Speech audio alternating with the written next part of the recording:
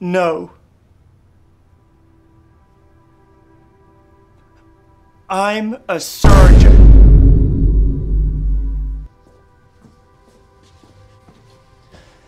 I am not leaving your office until you reinstate me.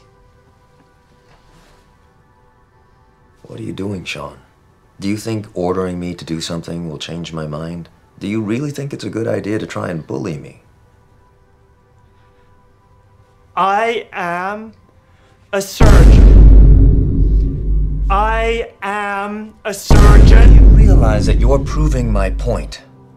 That you're acting immature, showing that you don't know how to communicate and you can't control your emotions. I am a surgeon. But you do have a talent that I value. So I'm gonna give you one last chance to maintain your dignity and leave my office. Now.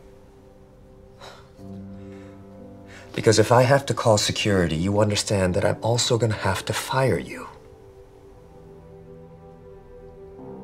I am a surgeon!